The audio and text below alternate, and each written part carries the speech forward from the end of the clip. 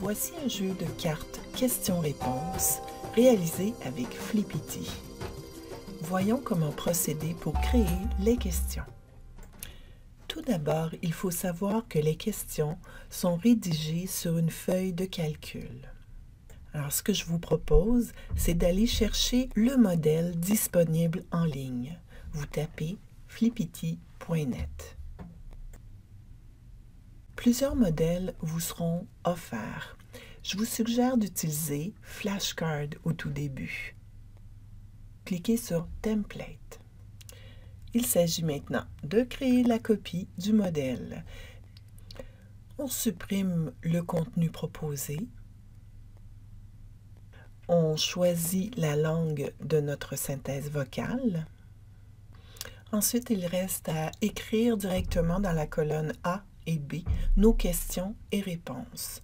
De mon côté, j'ai copié, je colle mes questions et mes réponses. C'est important euh, de laisser tel quel la rangée 1 et 2. Il resterait maintenant le titre à personnaliser. L'étape qui est vraiment très importante, sinon le jeu ne fonctionnera pas, c'est de publier sur le web votre fichier. Voilà.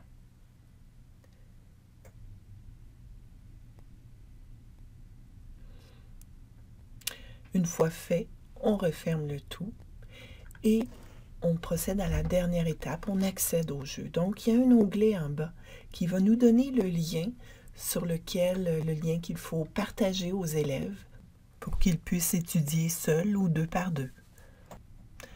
Il y a certaines fonctionnalités qui sont fort intéressantes. Par exemple, le haut-parleur juste en haut.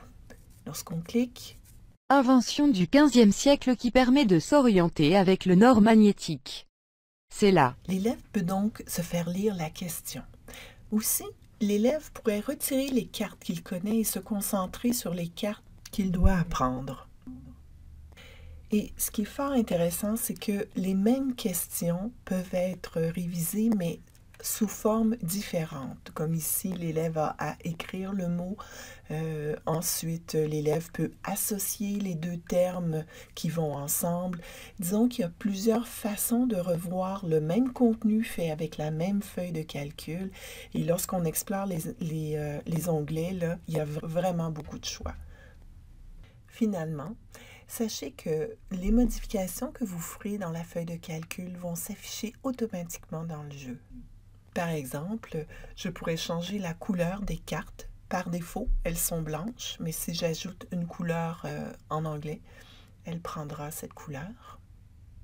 Et si j'ajoute une question-réponse, celle-ci s'affichera en temps réel dans le jeu.